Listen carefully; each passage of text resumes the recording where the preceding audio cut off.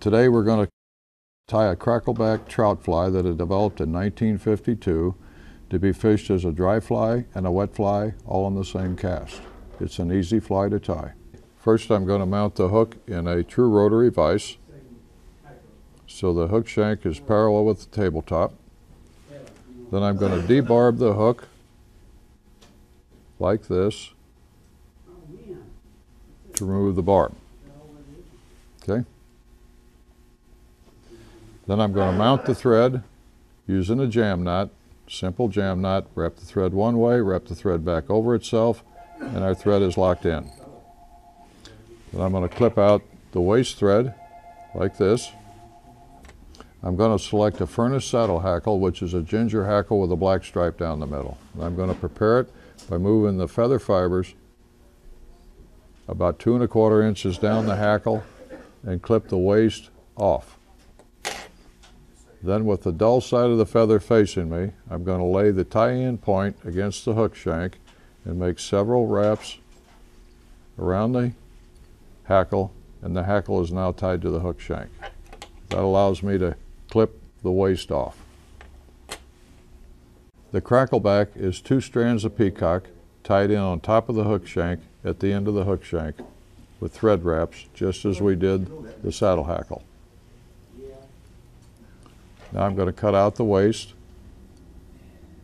and the crackleback is tied in.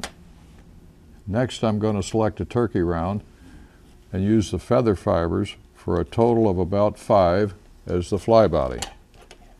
I'm going to clip them off at the base of the round, which is the stem. I'm going to turn the married feather fibers together upside down, hold them in the magic pinch, tie them also at the end of the hook shank just as we did the hackle and the crackleback using peacock herl. We're going to clip away the waste, and that's a step.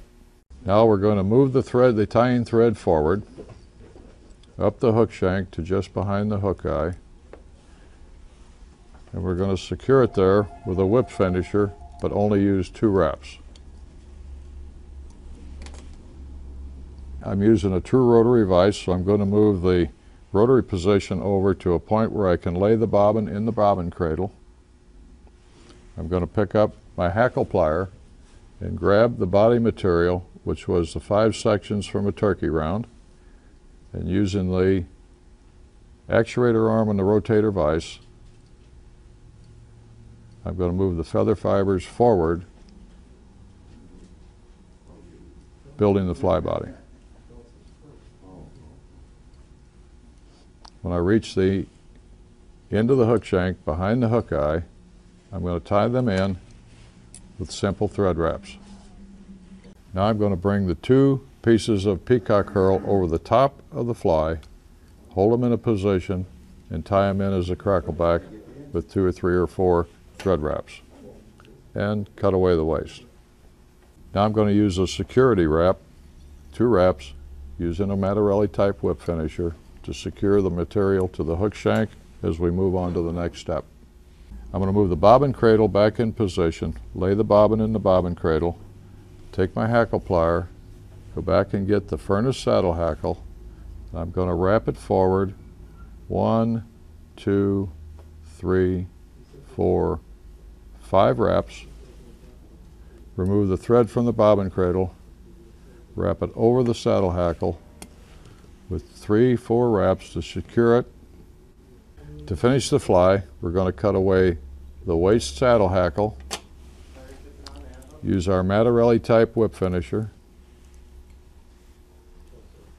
to finish the fly head. One, two, three, four, five, and our fly is finished and ready to fish.